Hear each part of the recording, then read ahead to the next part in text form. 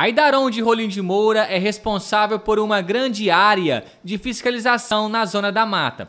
Tendo em vista as condições de trabalho há 10 anos atrás, hoje os servidores procuram dar valor à estrutura que possuem, visto que o progresso trouxe também mais facilidade a eles. Nós tínhamos um prédio muito antigo, né, da década de 80, e esse prédio estava sem condições de abrigar os produtores e servidores da agência.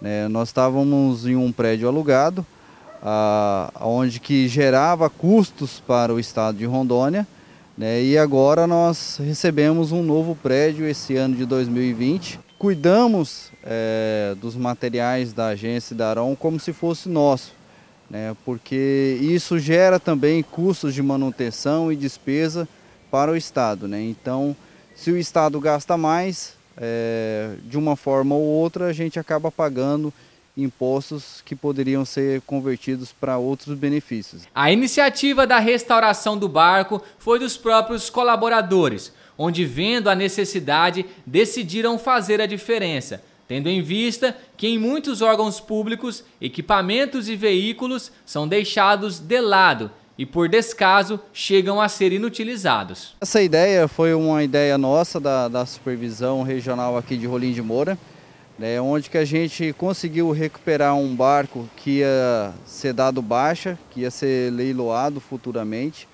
é, que estava praticamente inservível, né, então conseguimos fazer a total recuperação, desde da lataria, é, pintura, estofamento, é, barraca, conseguimos fazer toda essa recuperação desse barco. Esse já é o segundo é, barco que a gente é, recupera, né, que esses barcos utilizamos para fiscalização de fronteira, né, para patrulhamento fluvial.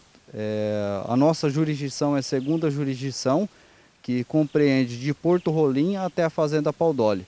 A única coisa de, desse barco mesmo que foi terceirizada só foi a parte dos bancos, né? Porque a gente não tinha maquinário e estrutura que daria para fazer essas condições é, de fazer costura e fazer a parte do banco, mas toda a parte interna do, do barco, da embarcação ou externa, fomos nós que fizemos.